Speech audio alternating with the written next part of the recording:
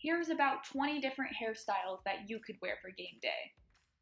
This first hairstyle that we have is called bubbles or balls. Basically, it's taking a ponytail and putting little hair ties in between the segments. People braid the side of their hair and then incorporate braids into it. It's very, you can make it very you and very unique.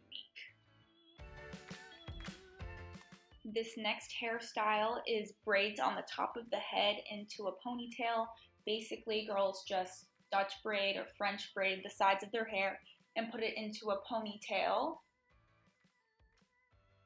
And on this next one, this girl did kind of cornrows and put it into a braid, ball braid. Basically, the possibilities are endless. This girl put her hair into a braid the night before and then the next day took it out and threw it into a ponytail. This is the braid section of our hairstyles. Basically, it's a ponytail with a braid, add a bow for some flair, curled hair, looks beautiful, it's poppin'. Most girls use a wand, a curling wand, and they curl it down. Some girls curl it up because it's easiest for them, but whatever works for you. Straight hair, take a flat iron and straighten out your hair. A lot of girls will also flat iron their hair when they have the braids at the top with a ponytail.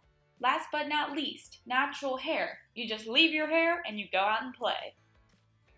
Woo. Let me know in the comment section below what you want to see next. Don't forget to like, comment, and subscribe. Boom, you gotta look good to feel good to play good. Right? That's that's how it works, right?